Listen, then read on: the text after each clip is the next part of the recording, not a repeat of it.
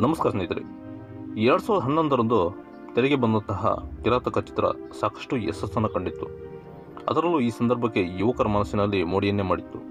ಅಂತಹ ಒಂದು ಚಿತ್ರ ಇದು. ಈ ಚಿತ್ರದ ನಿರ್ದೇಶಕರಾಗಿದ್ದಂಥವರು ಪ್ರದೀಪ್ ರಾಜ್ ಅವರು ಹಾಗೆಯೇ ನಟನಾಗಿದ್ದಂಥವರು ಯಶ್ ಅವರು. ಯಶ್ ಅವರಿಗೆ ಸಿನಿಮಾ ರಂಗದಲ್ಲಿ ಭದ್ರ ಬುನಾದಿಯನ್ನು ಹಾಕಿಕೊಟ್ಟಂಥ ಚಿತ್ರ ಕಿರಾತಕ. ಈ ಕಿರಾತಕ ಚಿತ್ರದಲ್ಲಿ ವಿಲನ್ ಆಗಿ ಪ್ರಮುಖ ಪಾತ್ರದಲ್ಲಿ ಕಾಣಿಸಿಕೊಂಡಿದ್ದಂತಹ ಡೇನಿಯಲ್ ಬಾಲಾಜಿ ಅವರು ಇಂದು ನಿಧನರಾಗಿದ್ದಾರೆ.